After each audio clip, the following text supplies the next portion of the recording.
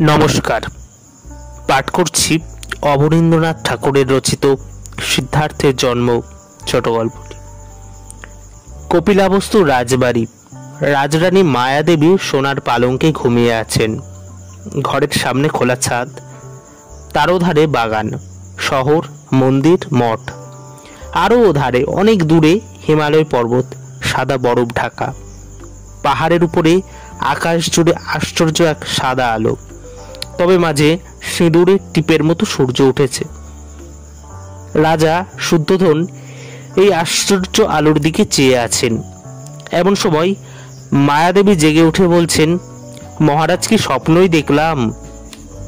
এতটুকু একটি শ্বেত হস্তি, দ্বিতীয়ার চাঁদের মতো বাঁকা বাঁকা কুচি দুটি দাঁত সেজন্য হিমালয়ের ওপার থেকে মেঘের উপর দিয়ে আমার কোলে নেমে এলো। তারপর সে কোথায় গেল আর দেখতে পেলুম না।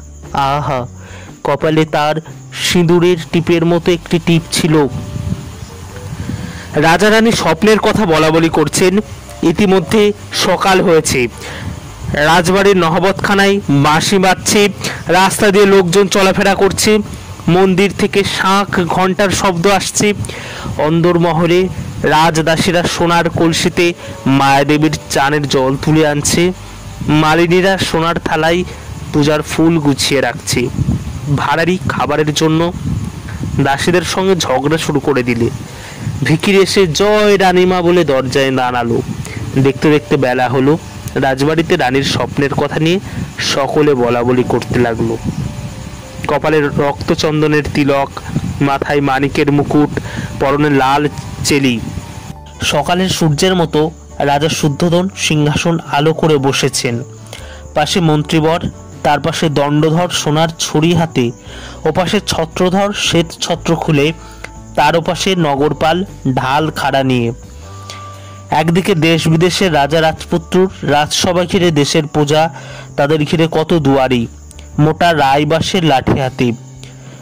রাজসভার ঠিক মাঝখানে লাল চাদোয়ার নিচে আটখানি রক্ত কম্বলের আসন। তারই উপরে পুঁথি খুলে রানীর স্বপ্নের কথা গণনা করতে বসেছেন রাজ পণ্ডিতেরা মহারাজ, শ্বেত হস্তির স্বপ্নে জীবন দুঃখকারী মহাজ্ঞানী পুত্র লাভ নিশ্চয় মহারাজ, এবার এক রাজপুরুষ এই সাক্ষ্য বংশে অবতীর্ণ হবেন। শাস্ত্রের বচন মিথ্যা হয় না। আনন্দ করো। চারিদিকে অমনি রব উঠিল। আনন্দ করো আনন্দ করো।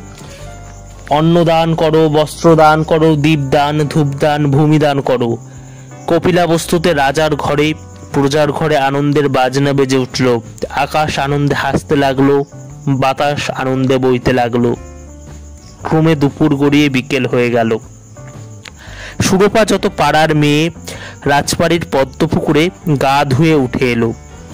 উবু ঝুটি গলায় কাটি একদল মালি মালিনী শুকনো পাতা ঝাড় দিতে দিতে, ফুলের গাছে জল দিতে দিতে বাগানের কাজ সেরে চলে গেল।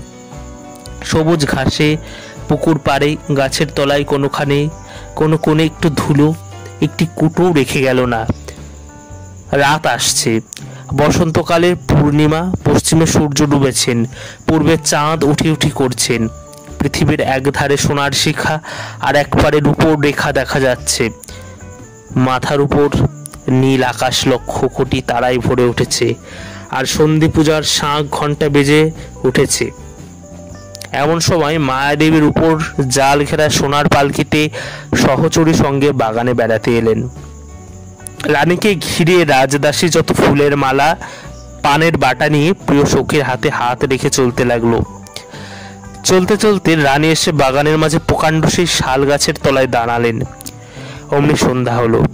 পাখিরা সব কলরব করে উঠল।